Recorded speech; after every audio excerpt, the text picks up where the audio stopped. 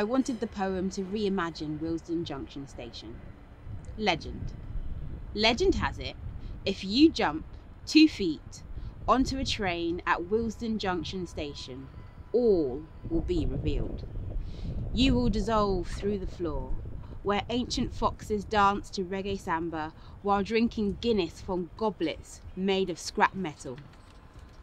Metal only found at the bottom of the canal, so deep down that the water is blue and pockets of air allow birds to birth new songs from melodies of future migration.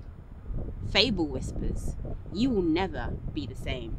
After climbing the stairs to nowhere, adorned in spiked skirts, return by pirate ship and parachute, run down the belly of the wind above fluorescent graffiti arcs and angles, you land. Somewhere between your deepest fear and your lightest joy.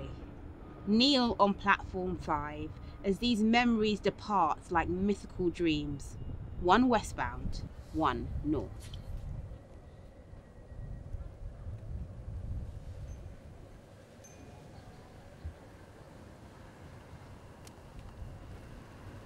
This poem is about the hustle and bustle of everyday commuters in a hurry to get to the station, the activity, the many, many feet moving in and out of this station.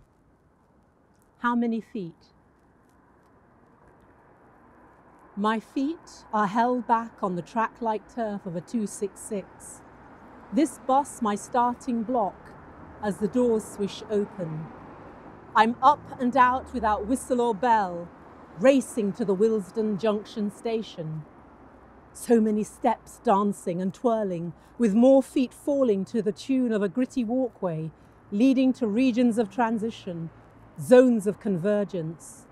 I swipe the oyster to open and close a world of barriers in a landscape of transit, always in a hurry to reach before the quarter if I miss this, the next arrives 15 minutes on, bringing me to a place of late wherever I need to be. So many people, like waters meeting, on a tide of tubes opening and closing. Commuters, dozy wasps, once vocal, confused in the stiff spring air. One, two, three, are losing their way as options branch before them. The salt white platform is ground under walkers' heels, a song of London feet that in a lifetime have paced an age without end. The scuff marks on my shoes whisper, five and a half miles of interchange. Every hour a winter for the lonely drifting souls who travel the line to do a day's work in an on the go city that never dreams, can never sleep.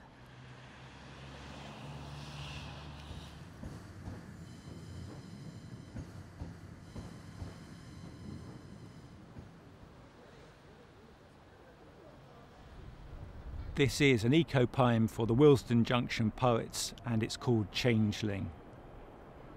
Down the jailed path, down the passage by the train tracks, drizzle, the buzz of power lines, the lone red lights of cranes, and the blue lights that helmet street lamps, and the white searchlights on the stripped horizon.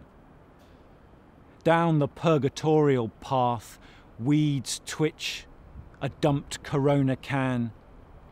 Cover your head with a cap. A black cat slinks by the tracks.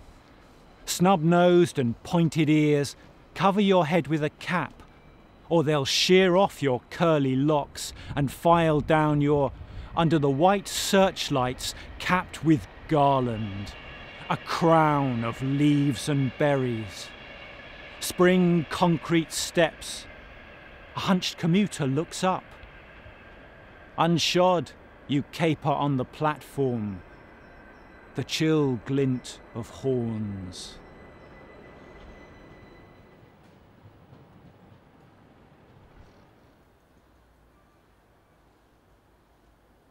Hi, my name's Sue Saunders, and I want to read you my poem Closely Observed Pigeons. I'm trying to lure some pigeons so that you can closely observe them. Like closely observed trains, that's the reference. But they're not coming. Trains are coming, but no pigeons. So I'll just read it. The pigeons of Willesden Junction Station fill me with a strange elation. Like that now dishonoured man, I can't fly, but believe I can. As with the ravens at the tower, were they to leave, we'd rue the hour. All the great good luck of Northwest 10 might never more return again. Wembley would crumble, the Welsh Harp flood, and Kensal Green run red with blood. Praise be unto these peaceful pigeons who rub along without religions. It seems to me they coexist practically purely communist. So what makes them flock and anoint with unction this particular railway junction? Is it the crumbs from old Puccino's? The answer is that nobody knows. Boarding the great 220 bus, I'm simply glad that they chose us. Should anybody wonder why, you could say I identify. They symbolize what I would be. Not very rich, but really free.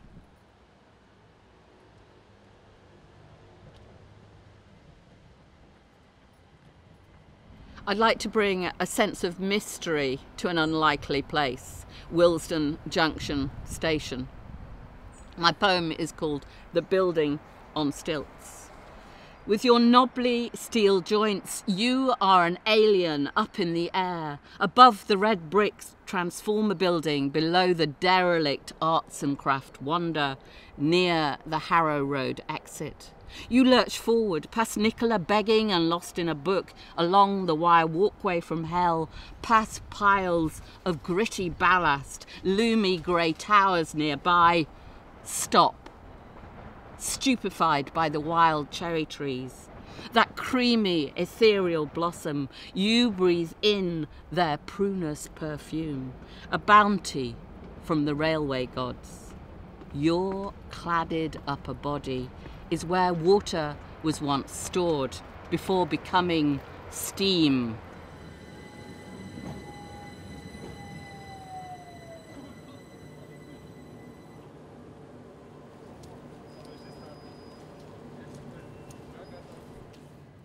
Platform 4 feels particularly close to me as I use this uh, platform to take the train towards my university.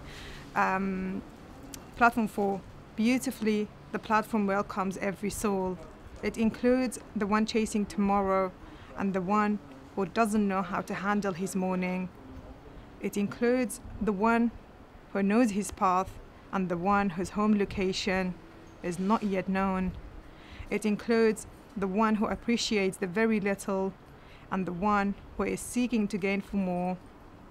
The truth resides in one particular place, the place that has contributed to my educational journey. Spending time on Platform 4, departing to my seminars and lectures was strengthening and has made me search for more. When I had time, I would walk beside the Grand Union Canal. I would walk for peace and inspiration, and at the end, find surprises beyond expectations. Some shades, swans, small boats, rain and sun all make up the station.